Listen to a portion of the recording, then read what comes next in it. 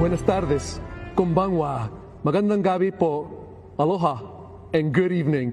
I'm Utah Attorney General Sean Reyes. I'm a proud American and proud descendant of warrior ancestors, women and men alike, from my Hawaiian, Filipino, Japanese, and Spanish heritage.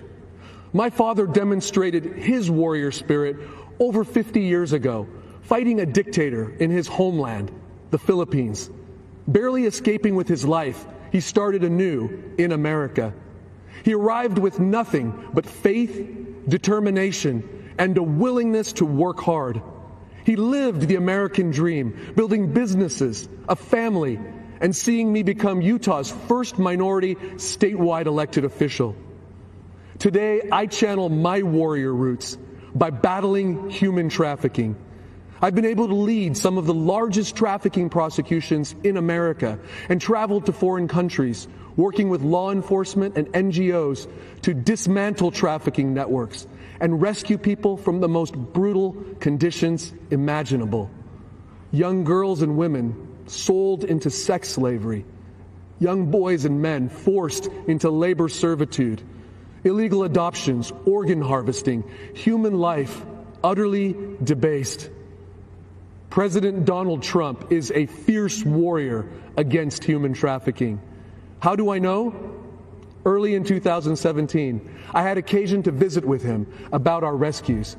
He asked insightful questions, expressed deep concern for victims.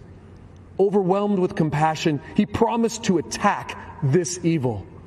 President Trump summoned Ivanka and leaders from his cabinet, directing resources and hundreds of millions of dollars for raising awareness, liberating victims, prosecuting predators, and empowering survivors.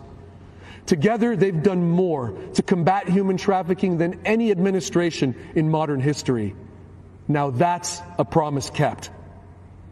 President Trump's taken similar aggressive action to break the chains of drug addiction and improve mental and behavioral health. He declared the opioid epidemic a national public health emergency and made available billions of dollars to confront this threat. He also signed a bill creating a phone number like 911, but for mental health.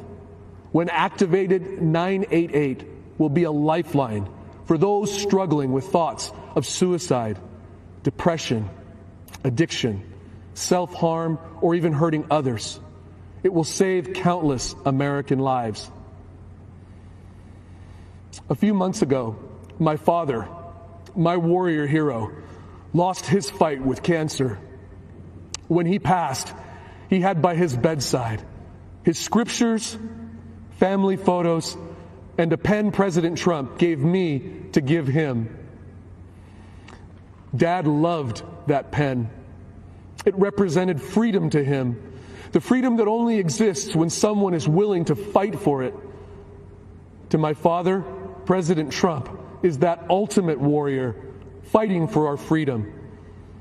If you listen to Democrats, the media, and liberal elite, they will tell you that America's light doesn't shine as brightly around the world as it once did. That is simply not true. The same light that brought my father to America inspires the desperate and downtrodden equally today. Believe me, I interact with some of the most marginalized victims on earth, and they love America. They love President Trump because he's fighting for their freedom and America's freedom. Thank you, President Trump. God bless you, and God bless America, this land of greatness.